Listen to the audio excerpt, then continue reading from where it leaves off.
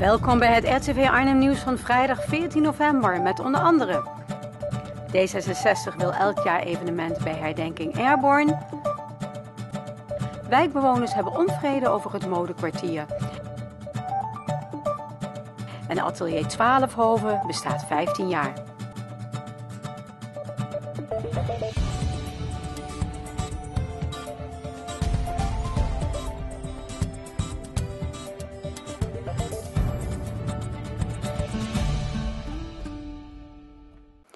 D66 wil tijdens de jaarlijkse herdenking van de Slag om Arnhem een evenement organiseren.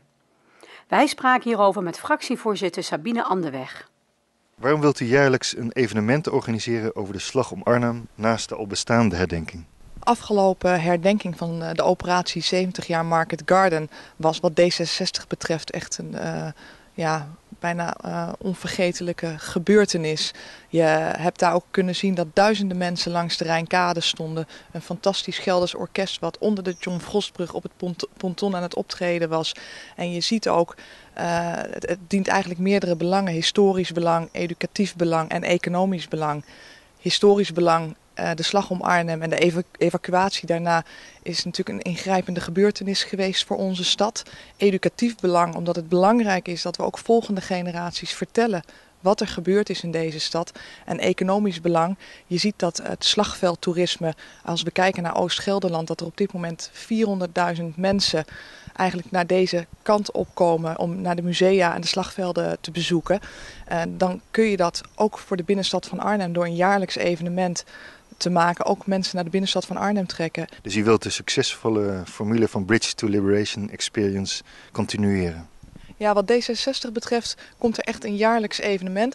Uh, naast de herdenking op het Airborneplein, wat altijd ook een hele mooie bijeenkomst is. Maar wij vinden het ook belangrijk om daar nog meer aandacht voor te vragen. Hoe wilt u het realiseren? Daar zijn verschillende mogelijkheden voor. Je kunt kiezen voor een grootschalig evenement. Je kunt kijken of het, of het iets kleinschaliger op verschillende locaties kan. Er komt een nieuw informatiecentrum aan de Rijnkade in Arnhem bij Humphries. De Eusebiuskerk, ook een symbool van de verwoesting, heeft nu ook een tijdelijke tentoonstelling.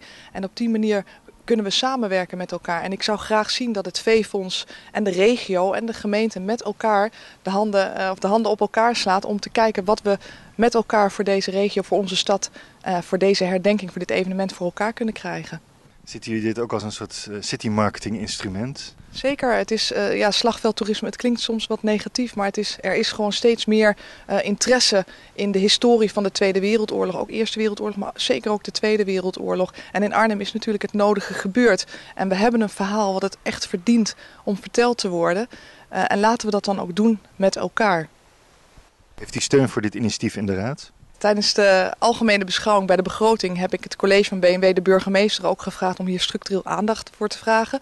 Of dat hebben wij gevraagd. En de burgemeester stond daar eigenlijk meteen positief tegenover. En hij komt dan ook op korte termijn met een voorstel naar de raad. En dan kunnen we in de raad erover spreken op welke wijze uh, wij hier aandacht uh, voor willen vragen.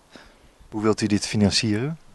We hebben natuurlijk uh, uh, een budget voor evenementen in deze stad. En ik denk ook dat het vooral een samenwerking moet zijn. Het veefonds, de regio, uh, de gemeente. Dus we zullen daar met elkaar moeten kijken wat mogelijk is.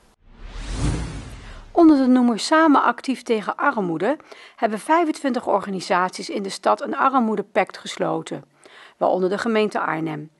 Door het combineren van verschillende bestaande en nieuwe initiatieven gaat de stad werken aan het versterken van de financiële zelfredzaamheid en het sociaal isolement van de Arnhemmers. Aan het laatste moet ook de Gelderpas een belangrijke bijdrage leveren. De grens om voor deze pas in aanmerking te komen is nu 120% van het minimuminkomen. Eerder was dat 110%. Met deze pas kunnen kinderen uit arme gezinnen bijvoorbeeld gratis sporten of korting krijgen op allerlei activiteiten. De burgertop heeft 110 aanmeldingen ontvangen. Er waren duizend uitnodigingen verstuurd. Arnhemmers kunnen zich nog steeds aanmelden om bij de burgertop van 29 november aanstaande aanwezig te zijn. Dit kan door naar de website te gaan van de gemeente Arnhem, op de button Wildcard te drukken of een e-mail te sturen naar werkconferentie.arnhem.nl. Ook is er een mogelijkheid om je telefonisch aan te melden via nummer 0900 1809. Sinds 2008 zijn er ondernemers op het modegebied actief in de Arnhemse wijk Klarendal. De wijk is verfraaid met mooie straten en leuke horeca, maar nu blijkt dat niet alle bewoners even blij zijn met de modeondernemers. De buurt wordt vooraf niet geïnformeerd over modeactiviteiten en de behoeften van de bewoners sluiten niet altijd aan met de producten van de ondernemers. Om de kloof te overbruggen is vorige maand aangekondigd dat er een winterevenement wordt georganiseerd. Hier is door sommige wijkbewoners kritisch op gereageerd. De initiatiefnemers hopen dat het feest voor verbroedering zorgt tussen de wijkbewoners en de ondernemers. Aan het eind van de zomer van 2015 zal Energietestinstituut DNVGL, voorheen de KEMA, verhuizen naar het voormalige hoofdkantoor van Tennet op het Businesspark Arnhems-Buiten. Het gebouw zal na de verbouwing een van de meest duurzame kantoorgebouwen in Nederland moeten worden, met een verwacht energielabel A. Dit wordt mede gerealiseerd door de toepassing van koude- en warmteopslag, een efficiënt verwarmings- en koelingssysteem en zonnepanelen. De laboratoria van hoogspanningstesten, het zogenoemde Power Lab, verhuizen niet mee naar de nieuwe locatie. Deze blijft op de huidige locatie en wordt uitgebreid. Verwacht wordt dat de uitbreiding van het Power Lab in 2016 gereed is. Een lesprogramma van basisschool Het Mozaïek heeft een nominatie ontvangen voor de Gelderse Onderwijsprijs. Het lesprogramma Taalmozaïek is in 2012 gestart en is ervoor om te zorgen dat taalachterstanden van peuters en kleuters wordt aangepakt. Op 25 november wordt de winnaar bekendgemaakt. Atelier 12 Hoven in het modekwartier bestaat 15 jaar. RTV Arnhem sprak met edelsmid Mirjam Twaalfhoven. Nou, ik ben eigenlijk uh, al ruim 40 jaar uh, in dienst van de kunst, zou ik maar zeggen. We zijn begonnen op de kunstacademie in Arnhem. Daar heb ik uh, vormgeving in edel metaal en kunststoffen gedaan.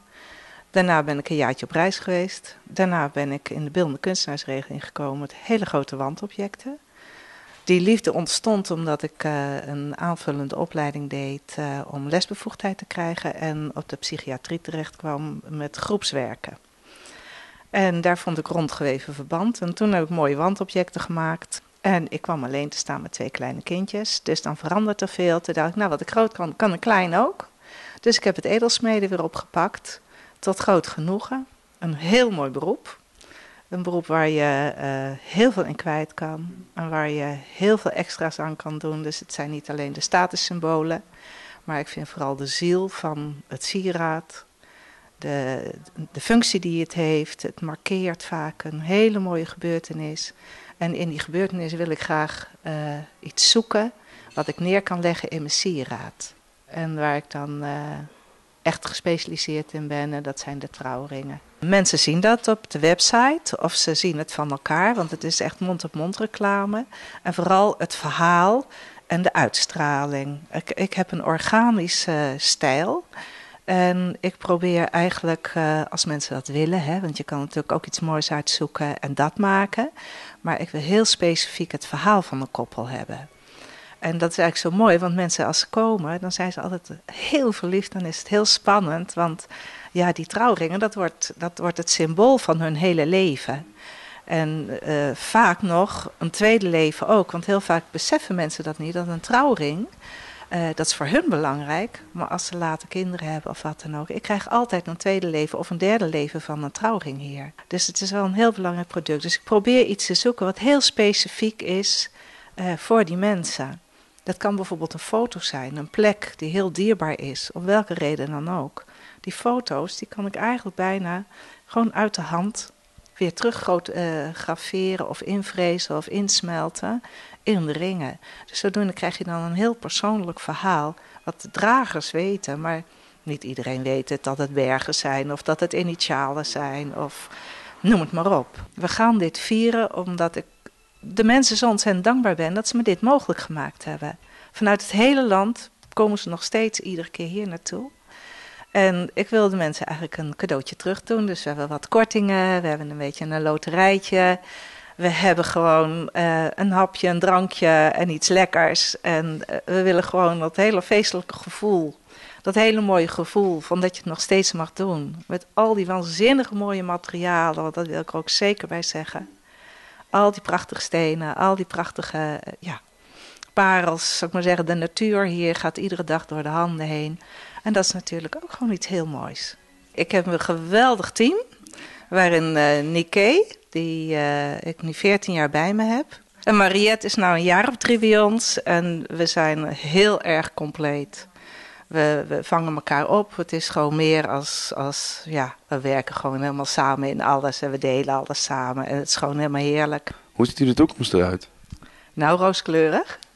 Ja hoor, kijk, zolang ogen en handen het doen, dan zijn ze in bedrijf. En dan hoop ik nog heel lang de meest gelukkige winkel ter wereld te zijn. Want zo voelt het. Met mijn klanten, met mijn team, met mijn kinderen.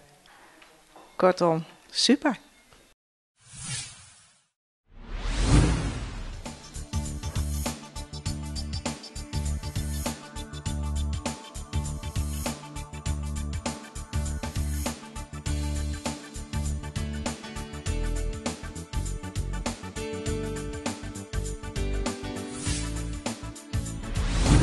En dan tot slot het weer.